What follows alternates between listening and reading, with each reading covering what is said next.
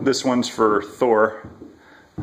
I thought you might like this. So here's a set of stairs. Similar to what you're going to have.